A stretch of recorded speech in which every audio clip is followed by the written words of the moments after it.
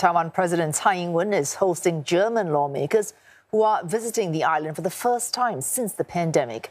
They discuss security across the Taiwan Strait, as well as concerns about the Ukraine war and the current situation in Europe. While the trip coincides with Germany's National Day. Ms. Tsai offered her well wishes to the delegation and expressed gratitude to Berlin for speaking out when China conducted military drills near Taiwan. 因为如此，所有民主国家更应该团结合作，共同捍卫民主自由价值的坚定防线。台湾期待和德国继续加深各领域的合作，共同实现正义、和平及生态永续等重要的价值。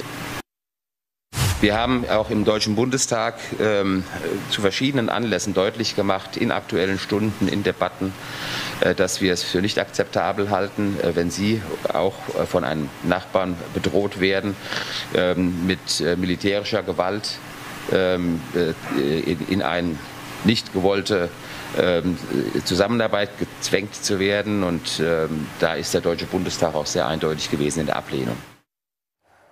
Meanwhile, Taiwan is aiming for a bigger voice on the international stage and is using television to help get its message out.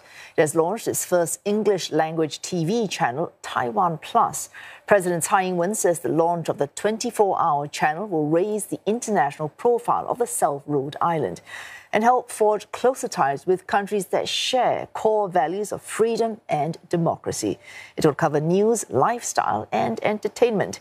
Analysts observe that China is increasingly active in English language media, conveying its narrative that Taiwan is part of China to outside audiences. Now, Taiwan is seeking to rebut that point of view. Taiwan Plus is currently only available locally, but the government says there are plans for a U.S. launch in the next six months.